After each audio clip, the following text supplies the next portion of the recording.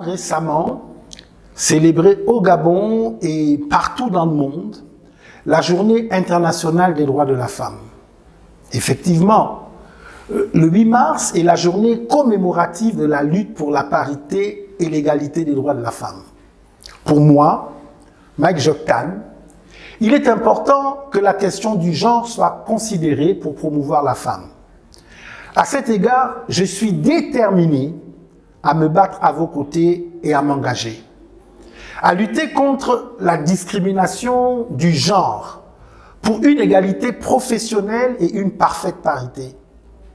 Cela en multipliant les centres de formation et de réinsertion professionnelle pour favoriser l'accès des femmes, des jeunes filles à l'éducation.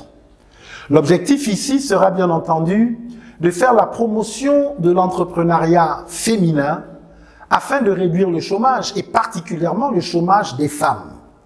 Je considère qu'il est inadmissible aujourd'hui encore que des femmes soient victimes de violences en tout genre et j'appliquerai une politique de tolérance zéro afin de dissuader les auteurs de ces actes criminels. Bien entendu, ces projets se couronneront avec la mise en place d'un système de santé approprié et totalement dédié au traitement de vos pathologies spécifiques. La femme joue un rôle central dans notre société gabonaise. Il est donc légitime de vous octroyer tous les droits qui nous sont à tous conférés.